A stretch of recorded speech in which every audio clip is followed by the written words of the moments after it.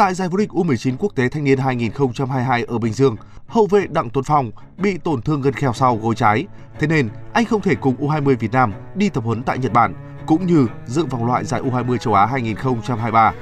Theo thông tin mới nhất từ phía cầu thủ, tài năng trẻ của Viettel có thể mất một tháng để hồi phục hoàn toàn. Đặng Tuấn Phong được đánh giá là rất tài năng, là đội trưởng của U19 Viettel, chơi rất chững chạc ở vị trí phòng ngự và cũng không ít lần ghi bàn từ các tình huống bóng bổng tấn công. Tuấn Phong chia sẻ, anh rất tiếc vì không có cơ hội cùng đội tuyển U20 Việt Nam tranh tài tại vòng loại.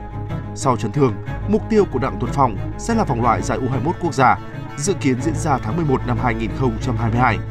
Một thông tin đáng chú ý khác, hai tuyển thủ U16 Việt Nam Hoàng Công Hậu và Nguyễn Công Phương sẽ hội quân trở lại Trung tâm Thể thao Việt Viettel đầu tháng 9 năm 2022.